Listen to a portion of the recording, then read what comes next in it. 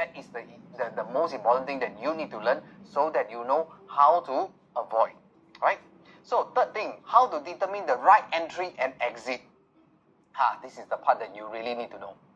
Uh, how to determine the exit. A lot of people say, Kelvin, I want to learn how to buy property, but I also I never think about exit one. You know, a lot of people are like that, and that is something that you must learn. Like now, I ask you this question here. If you currently own a property, two bedroom, right, at $1.2 million, your rental is 4005 Your cash flow uh, is $1,000 every month. That means every month uh, you get back $1,000. You, you own this asset. Now the property has increased in price to $1.5 million. How many of you will sell one? If you say you want to sell one, say sell. If you don't want, you say keep. Uh, type inside the chat group, sell one. How many of you will sell? Or how many will keep? Sell, sell. How many of you keep? Sell or keep? Sell, sell. Nobody keep. Oh, some say, say keep, keep, keep.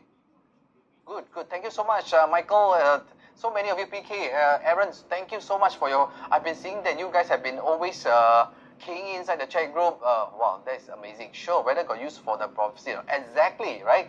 See whether got used for proceed, and that is important. Why? Because in that's what I always say. Sell unless you have a reason. But I let me tell you, I will determine whether to sell not because of emotion. I will determine to sell is because of this. You see, uh, this is exactly what happened uh, to the property. The price has gone up, but it has flattened. You see, from 2013 uh, until today, uh, 10 years, uh, this property, you can enjoy passive income, $1,000. But if you take $1,000 back, the last 10 years, uh, the price is flat, you know. Actually make money? Actually, no. Eh. Even you can get passive income $1,000 every month. Did you really save $1,000? No. So that's the reason why just now one of you will say, how do I better make use of my money?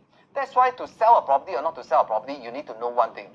When do I determine to sell? And later on, I will tell you exactly why is it, how can you learn the exit strategy without emotion one? You, you, you see uh, for me, you see how I buy and sell property until today, what I have, right? Is because I have a proven exit strategy with me. Right? I know when to exit. I know why I need to exit. I know what is the best time to exit. That's how I do it. If not, my money is inside this house It's called what? Dead money. Because cannot work one. Unless I take out all my profit, I use the money to help me to grow. And that is exactly need to know one thing. That's why that's why in my PWS uh, success framework, right, there's only a decision based on one of the, my checklist uh, is what you know. Has it exceeded the peak price? If I know that it has exceeded, I will sell. Why? I want to use the money to grow again. In fact, in my in my training, uh, in my training workshop, right, I actually have a strategy that will tell you when to exit based on the checklist one. Because when you tick all the checklists, uh, you will know whether you should sell or not sell. Because why? If not, there will always be emotion. Like, for example, I get my passive income. You know, I have a high floor unit. You know, my view is so good. You know, so many things that is so positive. Why should I sell? I wait for the price to go higher. You know, last time, uh, last time my price uh, is so cheap. How can I buy back? You see, once you go into emotion trap, right? You are actually not using your income to work hard for you. You're not using your money to work hard. And that is what exactly I see many people fall into this trap. You look at this example, even worse. This HDB owner who actually attended my workshop uh, two years ago, I think three years ago, sorry, three years ago, he attended my workshop. He holds the property. And, and husband and wife bought this HDB property. I cannot tell you where. He hold this property for 20 years and fully paid out. And you see uh, his CPF refund is 385, 385 plus 387. Uh, these two add up together easily will have 760,000 uh, in order to break even. But the property valuation at that point in time only 612, 612. That means uh, 612 to 760 is the break even. He actually lost the CPF in between whatever he has contributed, whatever has been holding for the last 20 years, uh, people think that, oh, I pay fully all my assets, I can make a lot more money. Unfortunately, you look at this HDB owners, after staying for 20 years, don't make money, still lose money, all the hard-earned money is gone. In fact, he sold the property at 650,000. And did he lose money? He lose. And that is very scary, leh. And that is really sad, leh. But what to do? Because he doesn't understand. That's the reason why I see every one of you. Our parents always tell me, Kelvin, uh, work hard, save money, just hold the HDB for the next 20, 30 years. I tell you, a lot of people suffer there. And that's not the right way. So that's why I say all of you here are the learner here, right? You really must know what is the best thing. And I'm very thankful for you for staying with me until now. Well, now it's 9.19, you're still with me, right? Because you want to learn. And, and that is something that you should avoid. That's why I want to tell you how to determine the exit strategy, and that is important. It's so easy to buy, but you must learn how to exit. That is number one. Number one criteria is to learn how to exit. Buy and never exit uh, is the serious mistake. Uh, I want to tell all of you. Uh. Are we losing cost of interest? You are losing not because of interest. You're losing because of the CPF, CPF accrued interest. This is the most scary part. And, and this is compounded.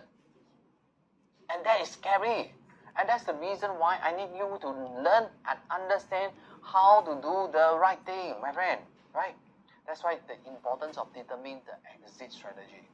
So, how you enter, you also must know when to exit. If not, forever you are just holding on to a property that may not have grown your assets. And that is important. That's the reason why can I really afford. Let's say, for example, this case study bought at 1 million and today it's worth 1.4 million. So the question here is, today you actually can worth to, you can easily buy a 1.8 million dollar property. Let's say your age, uh, every one of you, uh, your age uh, is 40.